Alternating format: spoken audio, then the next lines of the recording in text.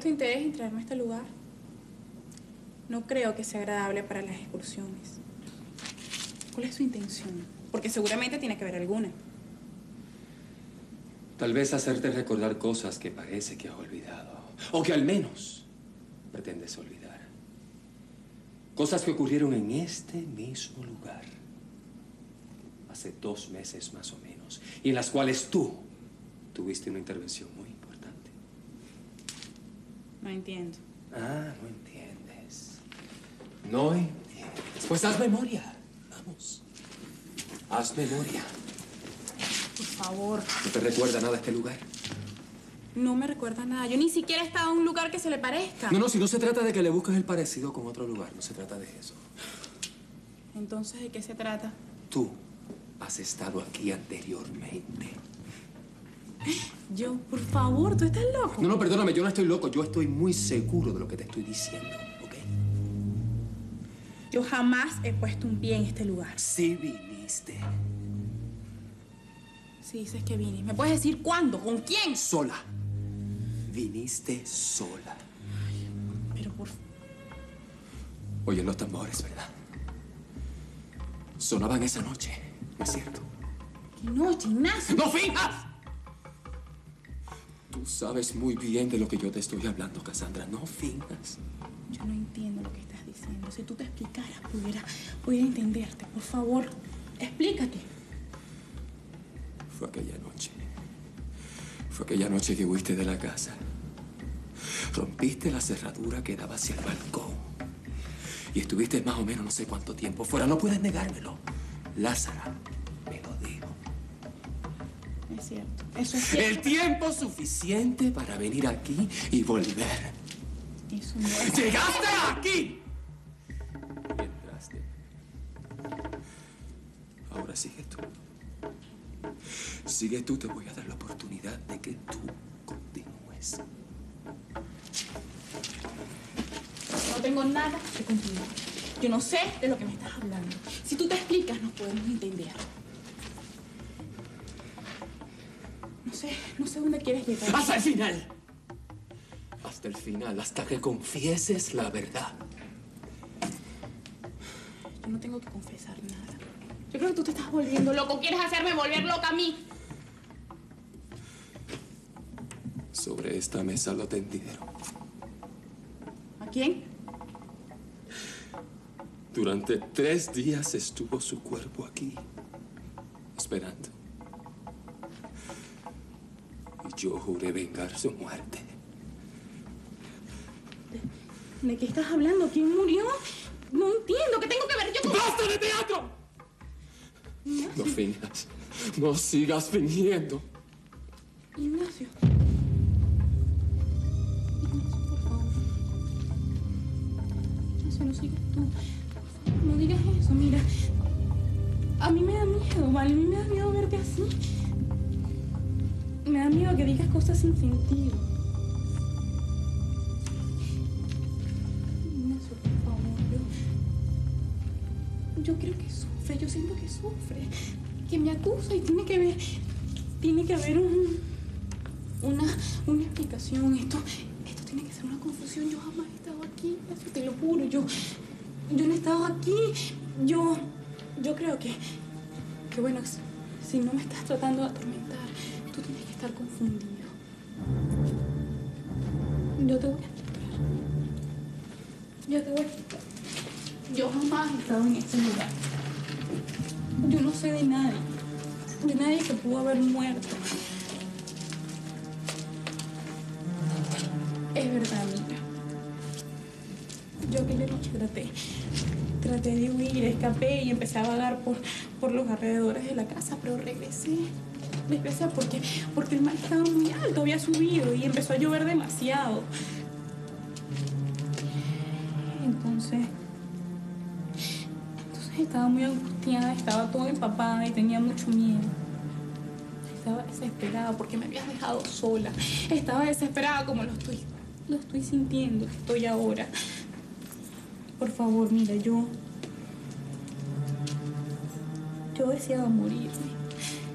Deseaba morirme porque. Porque tú, tú acabaste con la ilusión. Yo, no tengo el consuelo de una esperanza.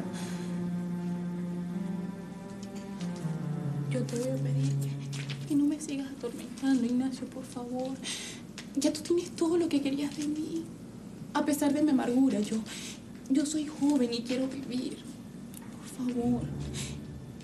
Te lo pido, Ignacio, no me hagas más daño, no me atormentes más. Tanto odio me tienes, tanta, tanta repulsión hay en ti.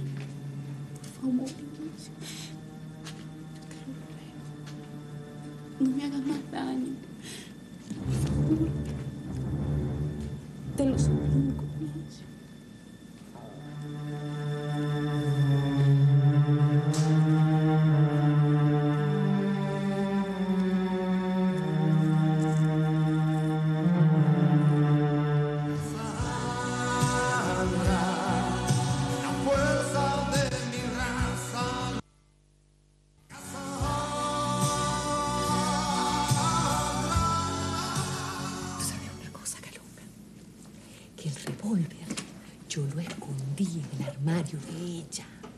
Entonces la muy tonta y estúpida lo vio y lo tomó entre sus manos. Entonces después lo volvió a poner ahí. O sea que el revólver está totalmente impregnado de sus huellas. Usted sí es la Dina. Doña, usted es una mala enemiga. Bueno, ¿y por qué se atravesó en mi camino? Primero él la hizo su esposa. Y después ella llegó para desplazar a mi hija del puesto que tenía en aquella casa. Yo sacrifiqué mi amor de madre, mis sentimientos de madre, para que mi hija se criara entre aquella gente. Y con mucho sacrificio, Calunga, yo logré que mi hija fuera la señorita de aquella casa. Y ahora viene esa gitana asquerosa y sucia. Y ahora todas las preferencias son para ella. Bueno, pero con muchas cuentas así, bueno, tiene que cobrarse caro. ¿m? Y no pararé hasta cobrarme la calunga. Y yo creo que ese gusto me lo voy a dar muy pronto. Cuando el señor Luis David decida acusarla. Y cuando tenga todas las pruebas en su mano. Ah, por eso fue que hizo pasar por difunto. Bueno, para eso era. ¿No te lo dijo? Bueno, a mí y al otro compañero que estaba conmigo, pero él también sabe el cuento. Y nos dijo que nos quedáramos callados. Es que tiene que ser para eso. No hay otra explicación. Porque allá en la casa él me hizo unas preguntas. Y se notaba a leguas que estaba averiguando. Mire usted a quién le vino a hacer la pregunta, doña. Él ni se imagina. Nadie sabe lo que hubo entre Ignacio y yo. Todas las culpas caen sobre ella. Y a estas alturas, él debe estar totalmente convencido de que ella fue la asesina de su hermano. thank you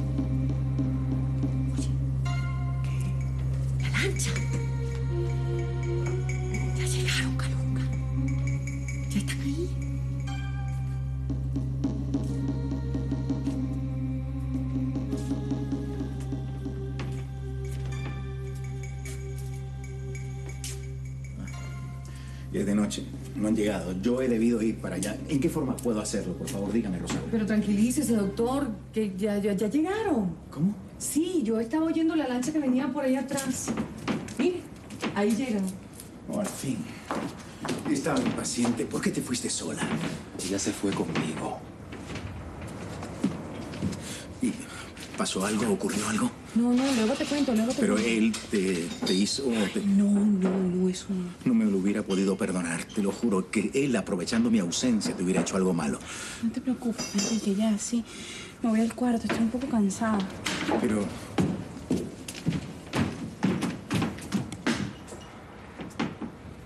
Señor, tengo la mesa puesta. ¿Van a comer? Pregúntale a la señora si quiere, Rosaura. Yo no pienso comer nada. Con permiso.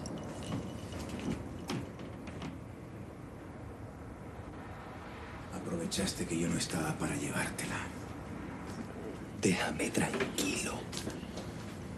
Será mejor que esto no se vuelva a repetir, Ignacio. Y sabes muy bien por qué te lo digo.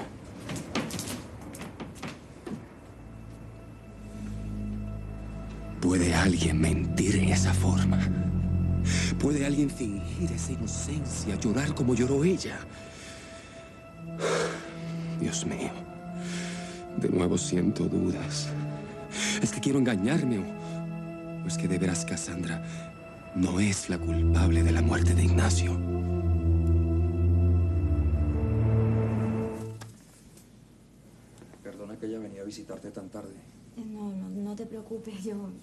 Yo siempre me acuesto tarde. Estoy haciendo cosas, cosiendo, lavando. No te preocupes. Eh, siéntate. Gracias.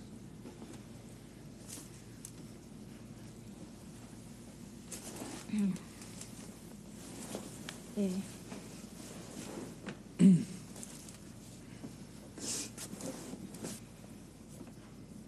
Lilia Rosa está durmiendo. Eh, sí, me lo imaginaba.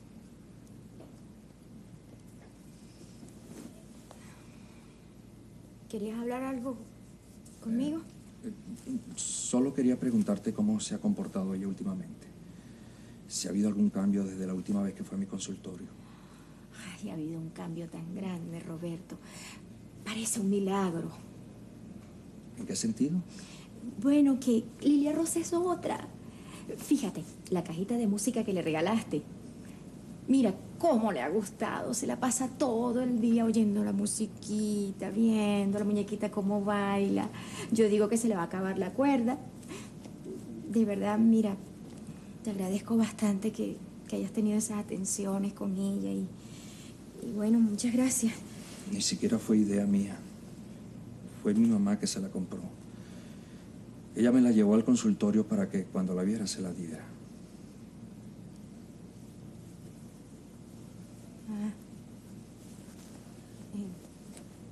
Yo pensé que había sido tú. bueno, pero no importa, no importa. Eh, total que el efecto fue bueno, ¿ves? Ella, pues ahora se, se nota así como más contenta. Lilia Rosa habla más conmigo, más cariñosa, más preocupada. Y desea caminar. Eso es lo mejor de todo, que, que mi niña quiere caminar, que tiene fe en ti. Eso es lo mejor. Ofelia, yo he estado pensando en el momento que ella se entere de toda la verdad. Porque inevitablemente vas a verla. Ofelia, ¿cómo haríamos para evitarle ese sufrimiento? No sé. Tú sabes que yo he estado pensando, meditando mucho sobre esto. ¿Tú crees que ayudaría el que yo desapareciera otra vez? Gemma.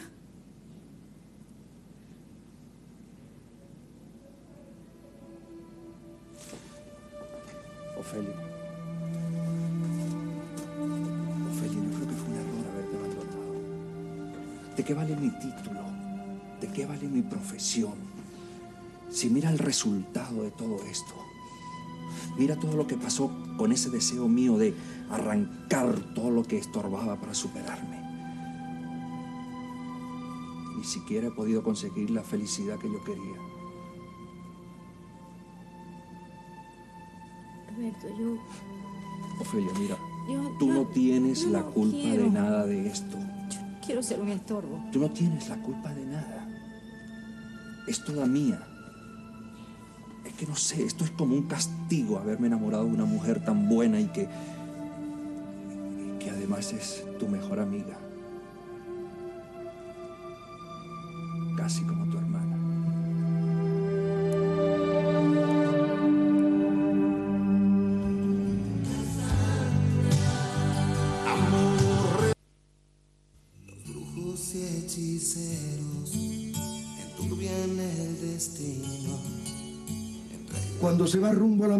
Siempre maleantes, aventureros que vienen a hacerse rico apresuradamente por estos lugares, haciendo negocios un poco turbios.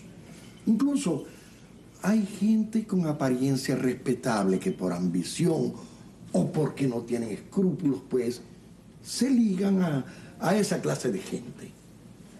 Bueno, padre, no solamente es por eso. Es que esta casa también es tan solitaria y el hecho de que quede incomunicada de noche es como, como deprimente.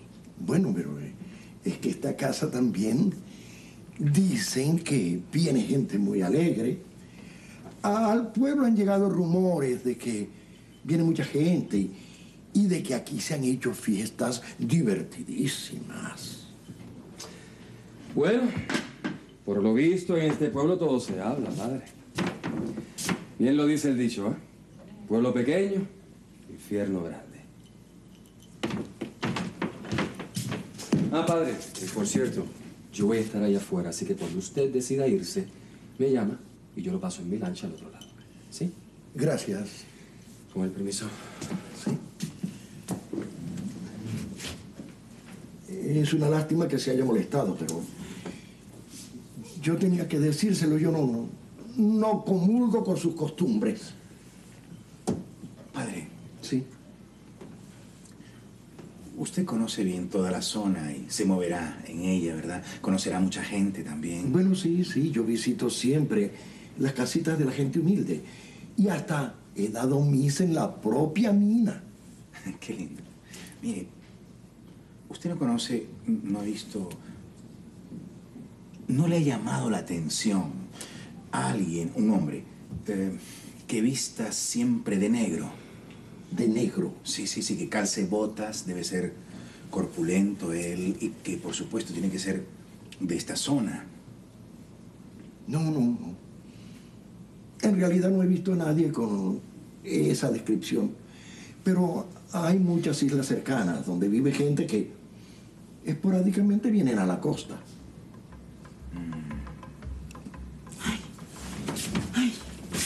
Otra vez mis tambores. ¿Le molestan? Me da miedo cuando tocan de noche. No tienes por qué temerle. Ellos representan el dolor de unos hombres que están solos y tristes porque añoran a su familia y a sus costumbres. Y esa es su música. Pero dicen que le cantan a los muertos. Va. Son supersticiones de gente ignorante. Ellos eh, representan, digamos, el folclore de un país sensible y culto que camina al ritmo de nuestra civilización. Lo demás son ideas retrógradas que solo existen en la mente de los turistas. Pero parece un canto de lamento, padre. Yo diría más bien un canto de nostalgia. Es el tributo de un hombre que no quiere llorar porque se siente solo y triste. Qué hermoso. ¿Ves? Espero que de ahora en adelante no te dejes impresionar tanto por esos tambores. Bien, yo me voy. Esta noche me voy a acostar mucho más tarde de lo que yo acostumbro. Padre, voy a llamar a Ignacio para que usted no tenga que hacer. Muchas gracias, hijo.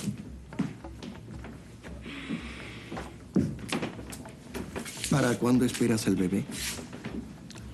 Falta bastante tiempo, padre. Las dos veces que te he hablado de la maternidad, siempre lo has hecho con pena. ¿Por qué no te da alegría? Tengo mis razones. Yo tengo mis razones para no estar contenta. ¡Padre!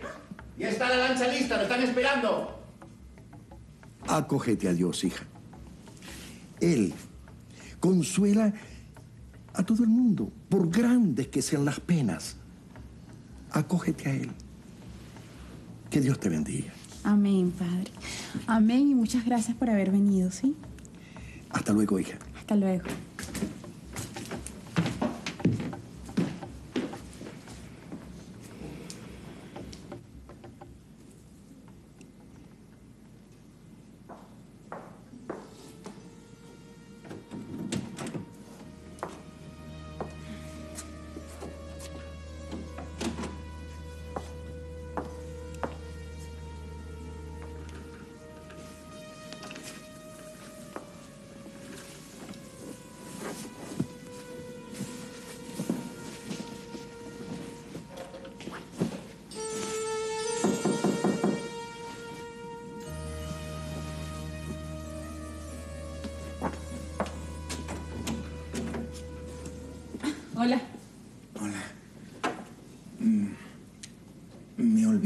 Advertirte una cosa.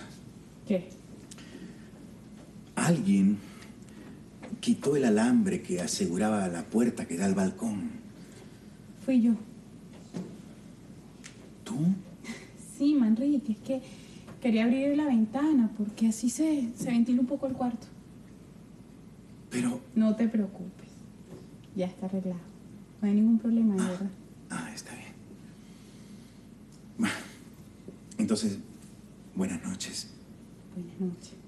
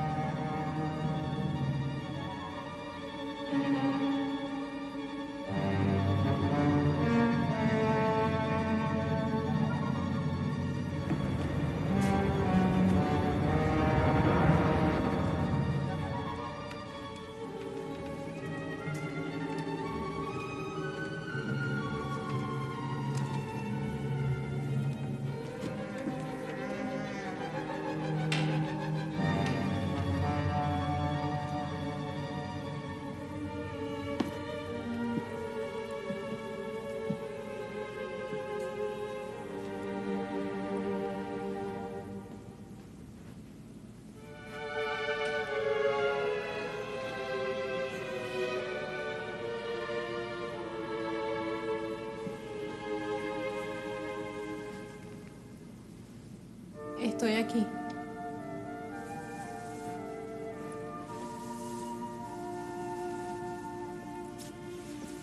Te esperaba.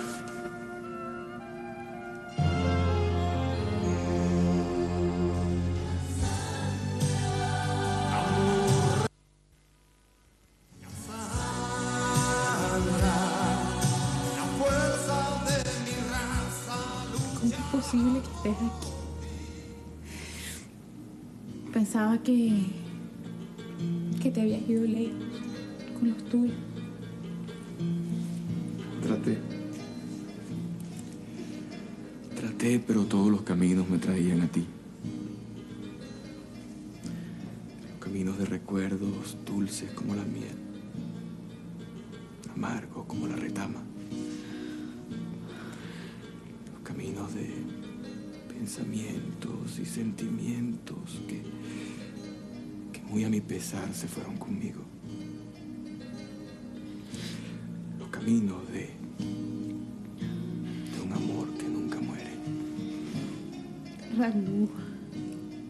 Sí.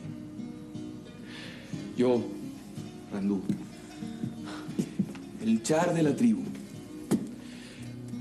pensé que podía olvidar una mujer.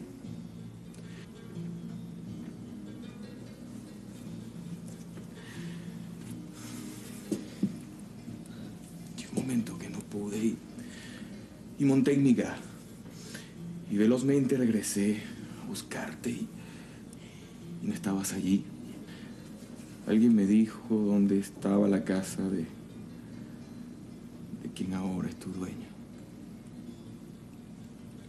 Y aquí estoy. Vine solo para estar cerca de ti. Las perlas que pusiste en mi almohada. La esmeralda. Hubiera colocado todo un tesoro en tu cabecera. ¿Sabes? Hoy te traje esto. Un rubí. Mm. Guárdalo. Guárdalo para ti.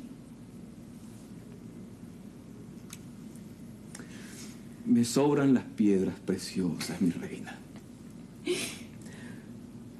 Sabes que los gitanos somos muy ágiles Sí.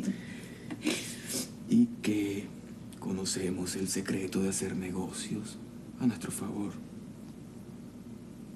¿Sabes? Dicen que cortando esta piedra llega a ser tan roja como la sangre del corazón. Tómala. Tómala como si fuera una gota del mío. Y la voy a dejar aquí. Como si jamás me hubiese descubierto. ¿Por qué estás aquí? ¿Por qué te siento tan triste, como enferma? Porque, porque voy a tener un hijo.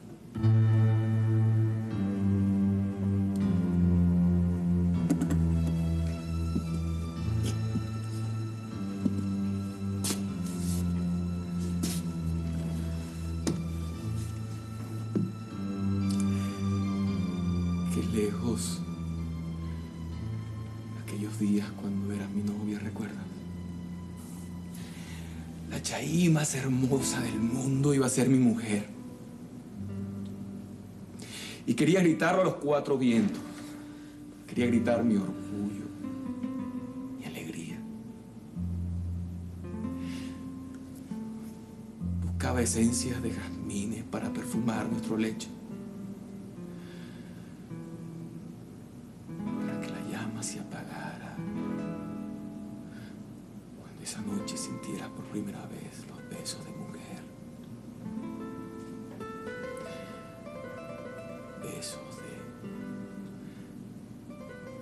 De...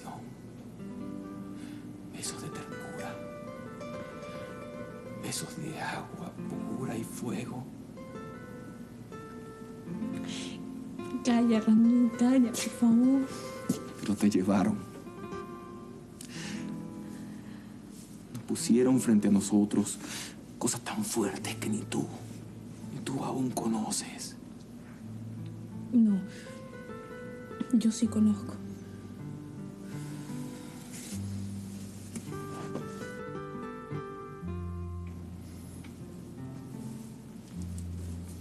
Por eso, por eso no pude retenerte. Y no porque me hubieras dicho que no me quieres. Porque yo, en mis brazos, te hubiese hecho olvidar todo. A la fuerza. A la fuerza te hubiera, te hubiera grabado en el alma la tercera ley de la raza. Sé fiel. Sé fiel de cuerpo, de pensamiento. Sé fiel cada minuto, cada segundo de tu vida hasta la muerte.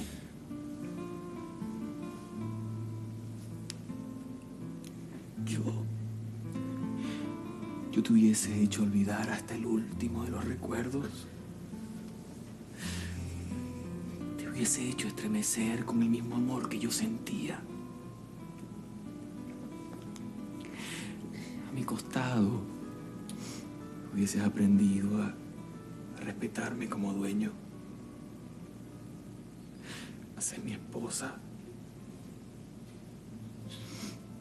mi dulce reina. Calla, Randu. Calla, por favor. Sí. Porque somos distintos. Por tus venas corre sangre de gentiles. Por las mías, sangre de gitano. Tu mundo es otro, no es el mío. Tuve que dejarte ir. Tuve que abrir mis manos que te retenían como, como un halcón a su presa.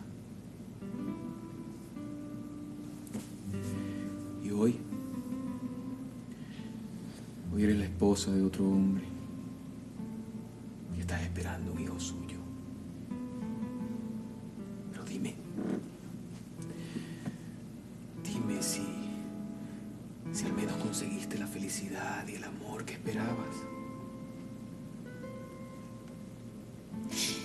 Randu, tú. ¿Tú crees en el destino? Me enseñaron que, que todo estaba escrito en el libro del gran Dios. Entonces piensas que, que todo lo que ha pasado tenía que ser así. Entonces también tenía que ser que te siga amando aún. No, Rando. Eso no, sí. Vuelo con los tuyos. No puedes estar solo únicamente que, que pensando que puedes estar cerca de mí. Yo no te puedo dar nada. Y eso me hace sufrir.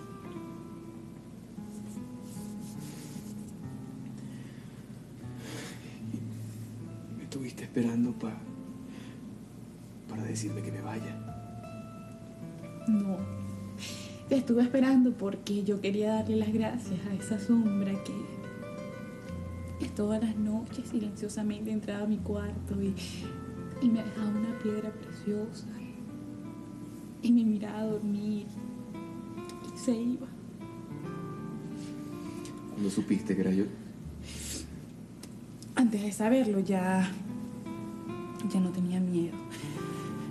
Porque, porque sabía que, que no me iba a hacer daño, que, que esa sombra me amaba y me protegía. Alguien que se acercó con otras intenciones. Sí. Y tú me protegiste. Espera.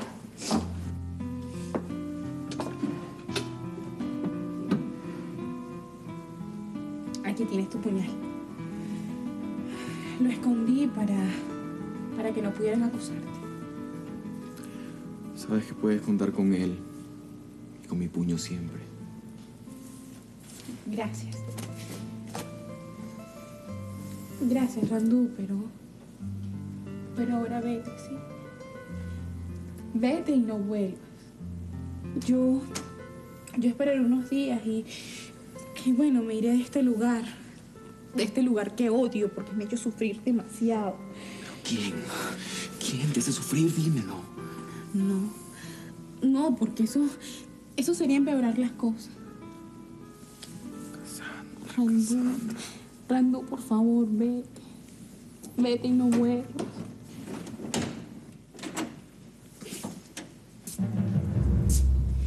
Para eso quitaste los alambres de la ventana, ¿no?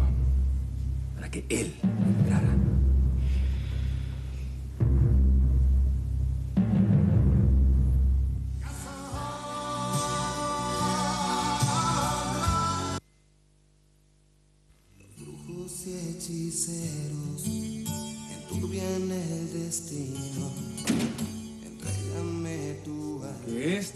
Famosa sombra. Tu amigo el gitano. No lo digas con ese desprecio, Gache, que no te lo permito. Ah, no me lo permite. Entonces, ¿qué se supone que deba yo permitirle a usted?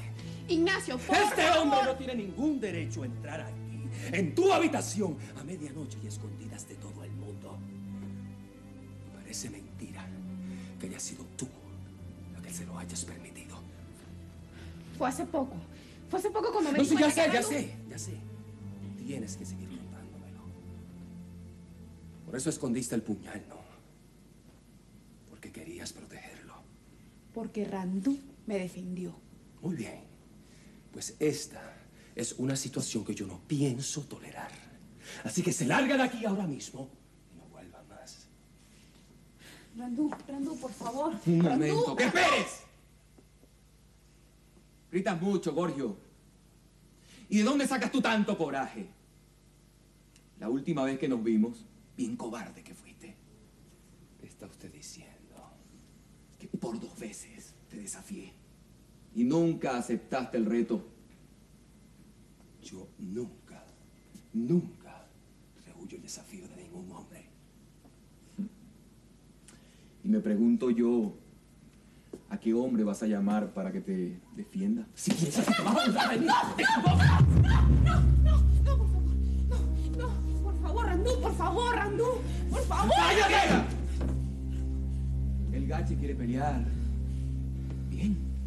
Al fin, al fin se cumplió mi deseo. No. Saca tu puñal. ¡Saca tu No, puñal! Randú. ¡Cállate!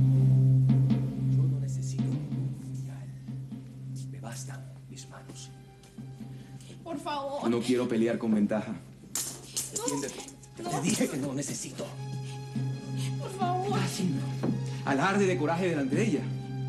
Pues la vas a pagar Ignacio, cara. Ignacio, no, no, no, no, por favor, Randú, Randú, Randú, Ignacio. ¡Váyate a tu suerte! Lo vas a pagar con la vida,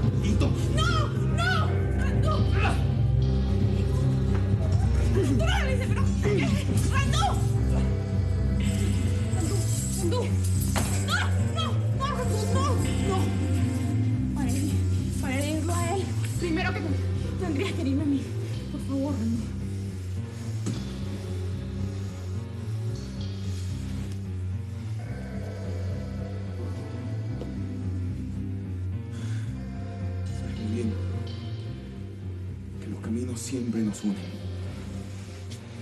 Que tu vida está conectada con la mía.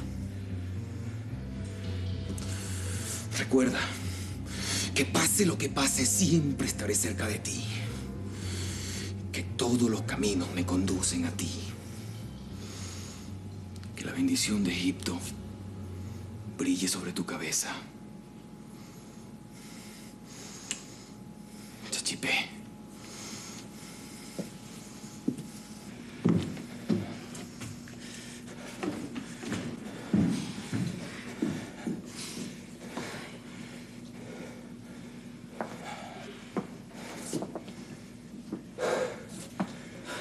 Arriesgaste tu vida por mí.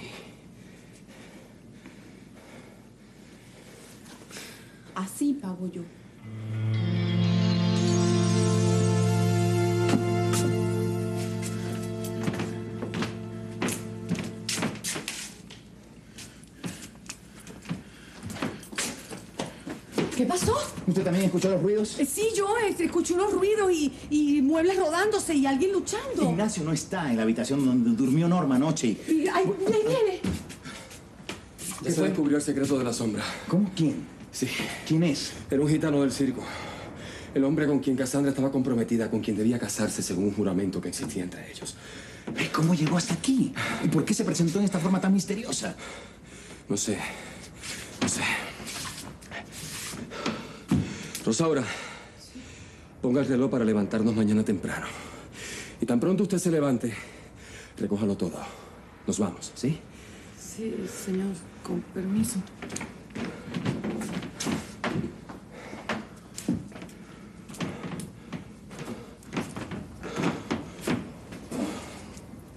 Me voy lo mismo que vine. Sin saber. Sin saber absolutamente nada.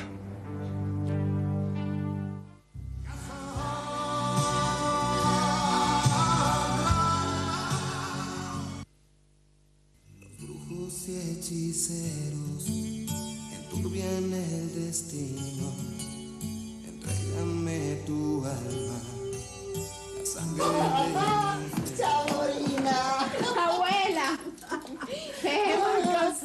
¡Qué alegría tenerte aquí! ¡Qué felicidad! ¡Chaborina, Chaborina!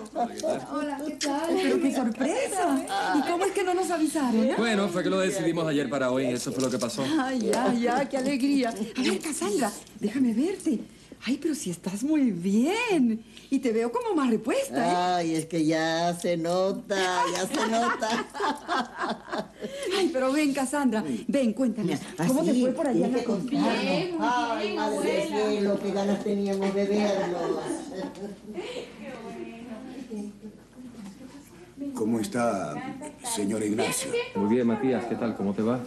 Mira, por favor, dejé ciertas cosas en el carro. Está abierto, así que por favor bájalas y las pones en el cuarto, ¿sí? Sí, señor. Ok, gracias. Gusto en verte. ¿Y qué? Tú fuiste. Después te cuento, papá. Nunca el sol pudo oscurecerte. Pero vamos, cuéntanos, princesa. ¿Te divertiste? Mucho, abuela, la pasamos muy bien, ¿verdad? ¡Sandra!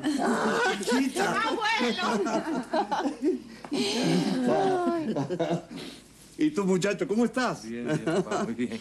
Qué alegría tenerlos otra vez en la casa. ¿Y tú cómo sigues? ¿Cómo sigues? Muy bien, esperándolos. Ay, mira, mira quién viene ahí a hacerte el recibimiento. Simón. Hijita, hijita linda. Preciosa. Vi llegar el carro, entonces agarré la tijera y te conté este ramo para ti, para que tuvieras flores. Ay, gracias, Simón, están preciosas. ¿Y qué haces aquí? Soy jardinero. Tu jardinero, hija. No lo sabías. Bueno, él quiso el puesto y... Bueno, así lo tienes más cerca. Me encanta, me encanta haber regresado. Estar otra vez entre ustedes, seres queridos. De verdad que me parece mentira.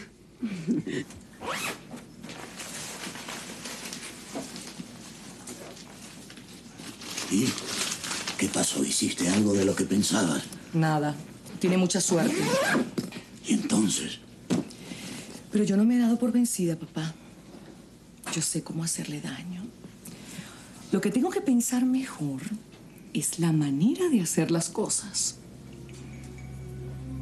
Tienes que contarme, princesa, tienes que contarme muchas cosas. Tienes que contarme. Ya estaba deseando que volvieran. ¿Así? Creo que si demoran un poco más, voy a buscarlos. Qué bien. Ah, a propósito, Ignacio. Sí. Hay algo que me tiene preocupado. Es un asunto relacionado con tu hermano Luis David. ¿Tú lo has visto últimamente? No, no, ¿por qué? Vamos a tener que localizarlo. Aquí estuvo un señor del Departamento de Criminología. Él inició una investigación y lo están buscando para darle curso al asunto. Estás contenta de haber vuelto, ¿verdad? Mucho, mucho. Muchas son las cosas que yo tengo que contarte. Sí. Pero ahora no. Luego, cuando hayas descansado y estés más tranquilita.